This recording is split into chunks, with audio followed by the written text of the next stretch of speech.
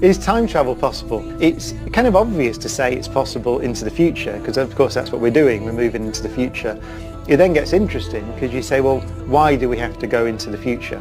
Why can't I stop going into the future? Well, you can vary the rate at which you go into the future relative to someone else. For example, if I was to get in a rocket now and let's say go to the Andromeda Galaxy, which is 2 million light years away, and then turn around and come back again, if I go close enough to the speed of light, I could arrange it so I would age, let's say, a year on the outward journey and a year on the inward journey. But four million years would have passed on Earth. So I would come back on that journey two years older, but I'd arrive at the Earth four million years in the future. So that's just, that's special relativity. That's Einstein's theory published in 1905, not even the theory of gravity.